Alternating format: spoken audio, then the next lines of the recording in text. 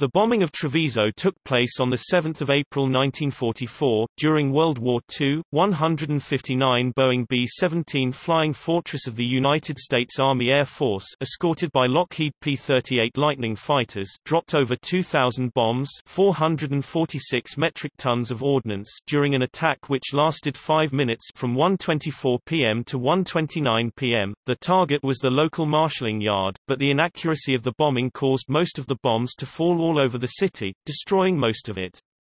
Out of 4,600 buildings, 700 were destroyed, 1,100 heavily damaged and 1,962 slightly damaged.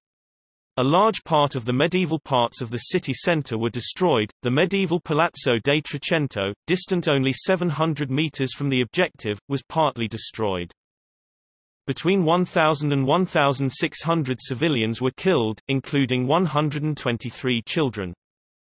The attackers lost one B-17, shot down by anti-aircraft guns of the nearby airport. As the bombing occurred on Good Friday, fascist propaganda called the day, Passion of Christ and of Treviso.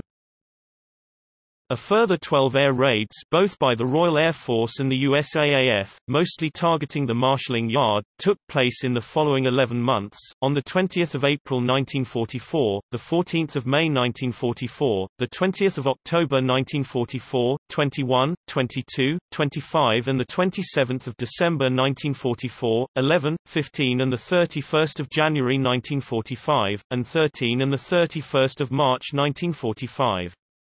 These raids caused further damage and destruction to the town, albeit none was as destructive and deadly as the first one had been. Giuseppe Berto's novel The Sky is Red and the film with the same name are set during the bombing of Treviso and its aftermath.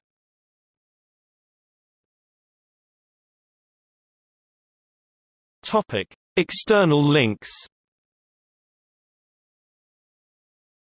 TV bomb Bombardamenti Topic Notes